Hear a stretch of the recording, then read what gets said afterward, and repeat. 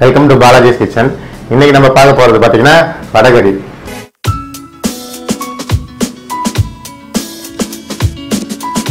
தமிழ்நாட்டில் ரொம்ப ஃபேமஸாக இருக்கிறது இது. இது வந்து பார்த்தீங்கன்னா இட்லி தோசை பூரி எல்லாத்துக்குமே அவ்வளோ காம்பினேஷனாக இருக்கும். வீவர்ஸ் நிறைய பேர் வந்து கேட்டிருந்தாங்க வடகறி பண்ணுங்க அப்படின்ட்டு. அதனால இன்னைக்கு நம்ம இப்போ பண்ண போகிறோம் இன்னைக்கு இதுக்கு தேவையான பொருட்கள்லாம் என்னென்னு பார்க்கலாம். இப்போ பார்த்தீங்கன்னா கடலப்பருப்பு இரநூறு கிராம். இது வந்து நான் சொல்கிற அளவு வந்து பார்த்தீங்கன்னா ஒரு நாலு பேருக்கு கரெக்டாக இருக்கும். இரநூறு கிராம் கடலப்பருப்பு ஒரு ரெண்டு மணி நேரம் முன்னாடி ஊற வச்சு எடுத்துக்கோங்க. வெங்காயம் வெங்காயம் பார்த்தீங்கன்னா நல்ல பெரிய சைஸ் வெங்காயம் ஒரு ரெண்டு வெங்காயம் சின்ன சின்னதாக கட் பண்ணி வச்சுக்கோங்க. ஒரே ஒரு தக்காளி இஞ்சி பூண்டு விழுது வந்து பார்த்தீங்கன்னா ஒரு டீஸ்பூன் போட போகிறோம் சோம்பு ஒரு டீஸ்பூன் கொஞ்சம் வடைக்கும் கொஞ்சம் வந்து நம்ம தாளிக்கும் போது பண்ண போகிறோம் இது வந்து பார்த்தீங்கன்னா சில்லி பவுடரு சில்லி பவுடர் வந்து பார்த்தீங்கன்னா ஒரு ஒரு கால் டீஸ்பூன் தான் போட போகிறோம் இது தனியா இது ஒரு அரை டீஸ்பூன் போட போகிறோம் கரம் மசாலா ஒரு கால் டீஸ்பூன் போ சேர்க்க போகிறோம் கடுகு தாளிக்கிறதுக்கு உப்பு தேவையான அளவு எண்ணெய் வந்து நம்ம வடைக்கும் அந்த கிரேவி செய்யறதுக்கும் பயன்படுத்த போகிறோம் ரெண்டு பச்சை மிளகாய் எடுத்துக்கோங்க. இதில் வந்து பார்த்தீங்கன்னா ரெண்டு பட்டை ஒரு எட்டு கிராம்பு ரெண்டு ஏலக்காய் பிரிஞ்சி இலை ஒன்று கருவேப்பிலை கொத்தமல்லி தேவையான அளவு சேர்க்க போகிறோம் இது ஃபஸ்ட்டு நீங்கள் என்ன பண்ணுறீங்க வடைக்கு தேவையான இந்த கடலப்பருப்பு இருக்கு இல்லையா? இதை நம்ம ஒன்றும் பாதியமாக மிக்சியில் போட்டு அரைச்சிக்குவோம். இதை அரைக்கும்போது இது கூட கொஞ்சம் சோம்பு போட்டு அரைக்கணும். பார்த்தீங்கன்னா ஒரு ஜார் எடுத்துக்கோங்க. ஜாரில் இந்த கடலப்பருப்பு ஆட் பண்ணிக்கோங்க. அதில் ஒரு காஞ்ச மிளகா ஒன்று சேர்த்துக்குங்க. இப்போ இதில் இந்த ஒரு ஒரு டீஸ்பூன் சோம்பில் இதில் பாதி ஆட் பண்ணிக்கோங்க.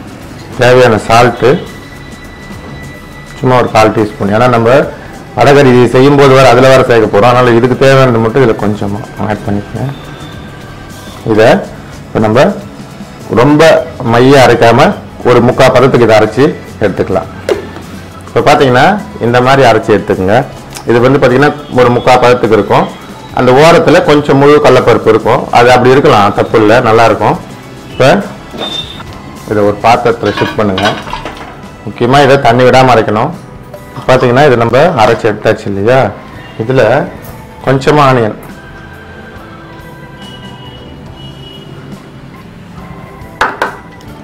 கொஞ்சம் பச்சை மிளகா. கொஞ்சம் கருவேப்பிலை கொத்தமல்லி. அந்த இஞ்சி பூண்டு விழுதில் சும்மா ஒரு கால் டீஸ்பூன் மட்டும் இதில் சேர்த்துருக்குறேன். இதை நல்லா பிசைஞ்சுக்குங்க.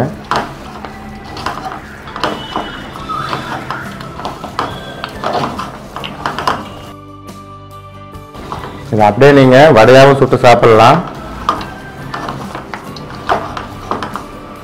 இதை வந்து பார்த்தீங்கன்னா நான் வந்து இப்போ இதை எண்ணெயில் போட்டு ஃப்ரை பண்ண போகிறேன் நீங்கள் சப்போஸ் உங்களுக்கு ஆயில் அதிகமாக தேவையில்லை அப்படின்னா நீங்கள் இதை இட்லி அவிக்கிற மாதிரி அவிச்சு எடுத்துக்கலாம். ஸ்டீம் பண்ணிக்கோங்க. ரெண்டு ரெண்டு விதமாகவும் பண்ணலாம். அதை ரொம்ப பெருசாலாம் இது போட தேவையில்லை. ஏன்னா இதை நம்ம வந்து எண்ணெயில் போட்டதுக்கப்புறம் கொஞ்சம் உடச்சி தான் போட போகிறோம் இப்படி சின்ன சின்னதாக போட்டுக்கோங்க. இப்படி சின்ன சின்னதாக போட்டு இந்த சைஸ்க்கு நீங்கள் போட்டு வச்சுக்கோங்க. இது நம்ம வறுத்து எடுத்துக்கலாம். வடையை சுட்டு எடுக்கணும். கடாய் வச்சுக்கோங்க. ஆயில்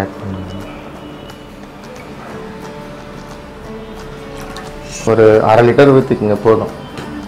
பார்த்தீங்கன்னா எண்ணெய் நல்லா காஞ்சிட்டு வருது. எண்ணெயை வந்து நீங்கள் காய வைக்கும்போது ரொம்ப காய வைக்காதீங்க. புகை வர அளவுக்குலாம் காய வைக்காதீங்க.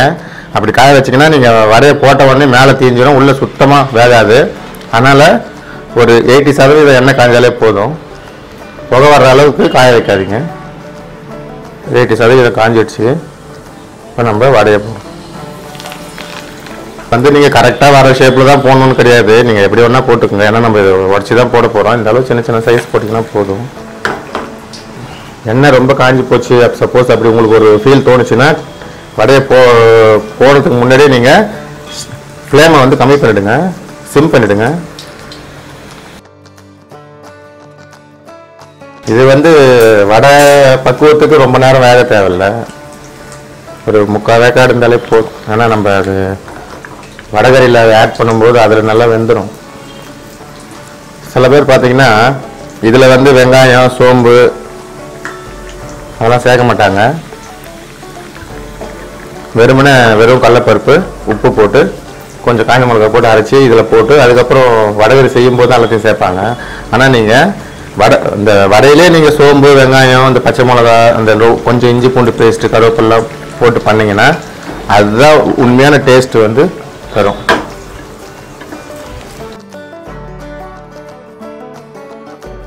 வெந்துக்கிட்டு இருக்கு. கடலப்பருப்பு அரைக்கும் போது நல்ல ஞாபகம் வச்சுக்கோங்க. தண்ணிலாம் ஆட் பண்ணக்கூடாது. ரெண்டு மணி நேரம் முன்னாடியே ஊற வச்சிருங்க. இது ஃபஸ்ட்டே போட்டது. இது முக்காப்பெல்லாம் வந்துடுச்சு வந்துருச்சு. இதை எடுத்துடலாம்.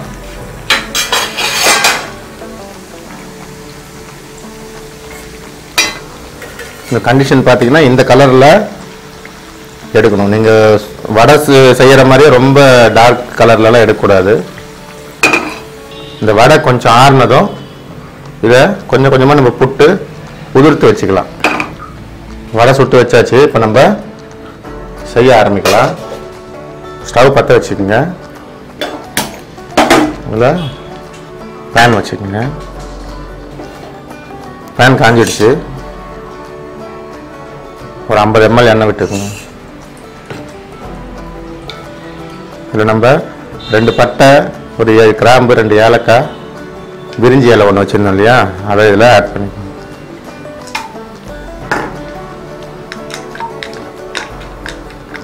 அந்த இந்த சோம்பு வச்சுருந்தோம் இல்லையா? அதையும் இதில் ஆட் பண்ணுங்க.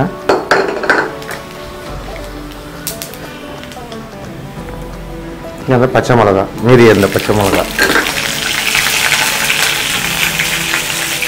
இப்போ வெங்காயம் ஆட் பண்ணும்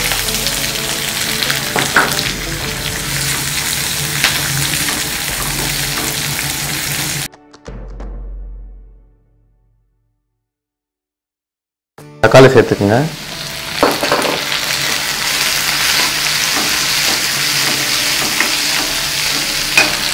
அந்த இஞ்சி பூண்டு சொல்லணும் இல்லையா? ஒரு டீஸ்பூன் சொன்னோம் நம்ம அதில் கால் டீஸ்பூன் சேர்த்துட்டோம். இதில் ஒரு முக்கால் டீஸ்பூன் சேர்த்துக்கங்க.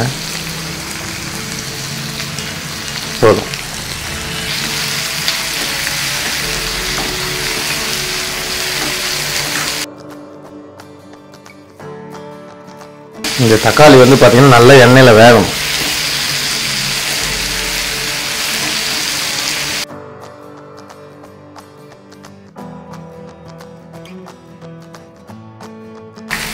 இந்த கண்டிஷனில் மஞ்சள் தூள் கால் டீஸ்பூன் சேர்த்துக்கோங்க. ஒரு அரை டீஸ்பூன் தனியாத்தூள் சேர்த்துக்கோங்க. கால் டீஸ்பூன் காரத்தூள். கரம் மசாலா இது ஒரு கால் டீஸ்பூன் இப்போ நல்லா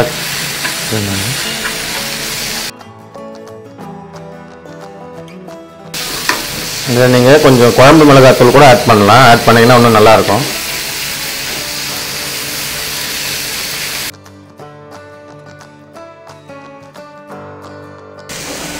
இதில் ஒரு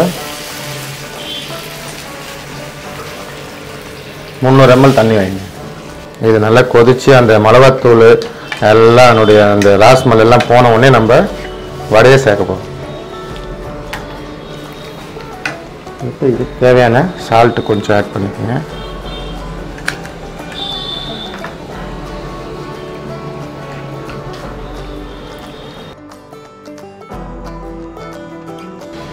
இது நல்லா கொதிக்கட்டும். இது கொஞ்சம் நேரம் மூடி வச்சிடலாம். இப்போ பார்த்தீங்கன்னா நல்லா கொதிச்சிட்டு இருக்கு இது வந்து பார்த்தீங்கன்னா கிட்டத்தட்ட ஒரு பத்து நிமிஷம் கண்டினியூவாக வந்து கொதிக்கணும். அப்போ தான் என்னுடைய ராஸ்மல் எல்லாம் போயிட்டு நல்லாயிருக்கும். பார்த்தீங்கன்னா நல்லா கொதிச்சிட்டு இருக்கு நம்ம அதுக்கப்புறம் தான் அதில் வரைய ஆட் பண்ண போகிறோம் இன்னும் நல்லா கொதிக்கிட்டோம். பத்து நிமிஷம் ஒன்றும் ஆகலை. இப்போ பார்த்தீங்கன்னா பத்து நிமிஷம் நல்லா கொதிச்சிடுச்சு. எண்ணெய்லாம் மேலே பிரிஞ்சு வந்துருச்சு. இந்த கண்டிஷனில் நம்ம வடையதில் வச்சு போட போகிறோம்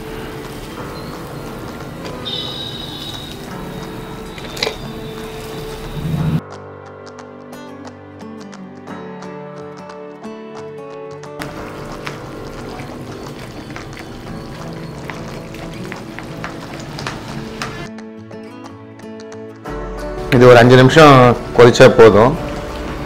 அதுக்கப்புறம் நம்ம தாளிச்சிடலாம்.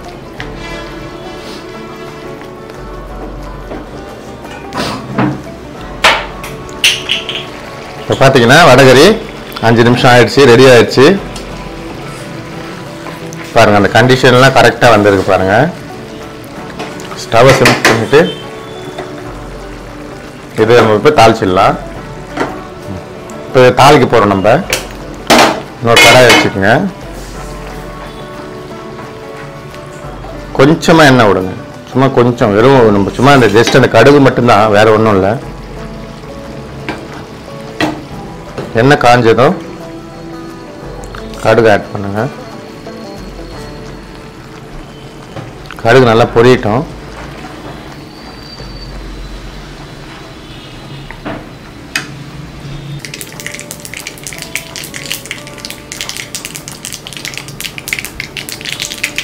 கொஞ்சம் கருவேப்பிலை போடுங்க. அப்படியே இதில் கொட்டிடுங்க. ஆமாம் கொஞ்சம் கருவேப்பிலை கொத்தமல்லி மேலே.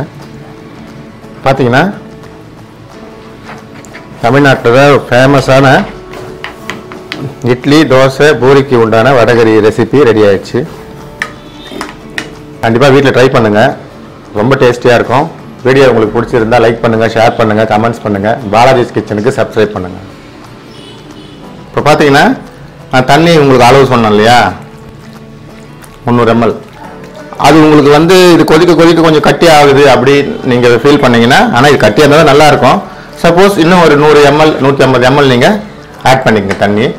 அது வந்து உங்களுக்கு கொஞ்சம் கிரேவிலேருந்து கொஞ்சம் லூஸ் தன்மை இருக்கும். அதுவும் சாப்பிட நல்லாயிருக்கும் அதாவது உங்களுக்கு அந்த திக்னஸ் தேவையில்ல கொஞ்சம் இன்னும் கொஞ்சம் தண்ணியாக வேணும் அப்படின்னா மட்டும் நீங்கள் எக்ஸ்ட்ரா ஒரு நூறு எம்எல் தண்ணி ஆட் பண்ணிக்கங்க.